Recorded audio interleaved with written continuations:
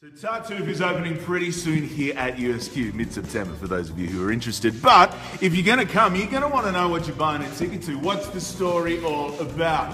To break it down for you here today, I got Sarah. Sarah, fill us in. What is Tartuffe all All about? right, so basically, there's this guy called Tartuffe who comes in, right? He causes havoc through the Pernelle family. The only ones who believe him are Orgon and Madame Pernelle. So this causes even more trouble. Then stuff starts to get intense.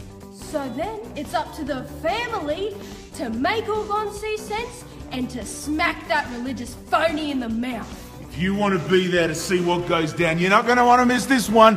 Tartuffe at the USQ Arts Theatre, September 15, 16, 17. See you there.